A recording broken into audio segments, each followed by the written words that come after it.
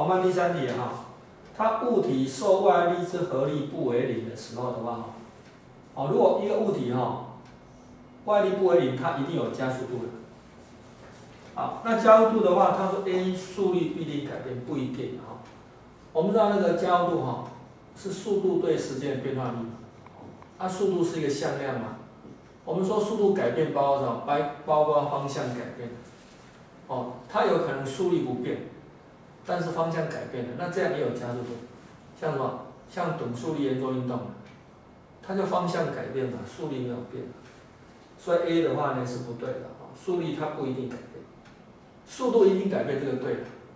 哦，速度的话不论方向或者是速率，哦，只要有一个改变，或是两个都改变，都是代表速度改变。所以 B 的话速度一定改变，这 B 是对的。好看 C，运动方向呢一定改变，那不一定的，哦，可能是大大小有变，但是方向没有变。第一速率运动方向呢一定改变，不一定的哈，就是说可能只有一个改变，也有可能两个改变，不一定。再看一，B 做加速运动，那这个当然对，哦，因为它有力的话，它就一定有加速，所以的话一是对的，所以大家应该选 D 一。